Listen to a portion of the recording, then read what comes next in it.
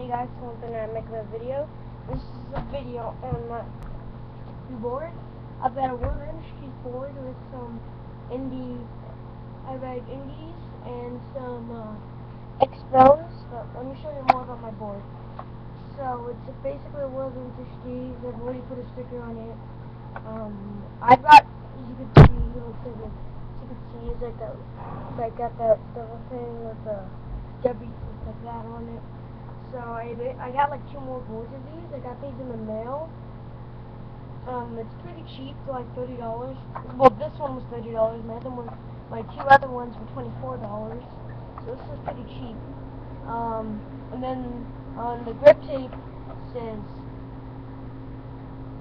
Creature. It's a pretty good grip tape. Um, I haven't messed the grip tape up or anything. So I had to put this all together. It came in pieces. So well, except the traction wheels. So I had to put the grip tape on myself, and then and then I had to put and I got brand new ones.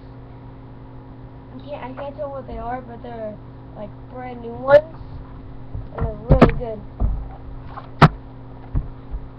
Um, if I can get them in there. See it? And the other side.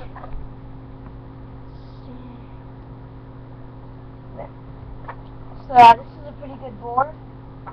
Um, so I'm gonna do a lot of skating with this for a long time, and then maybe when I put my other board together, I can show you that one. So yes, um, so yeah, this is a pretty short video. So comment, rate, subscribe, and see ya.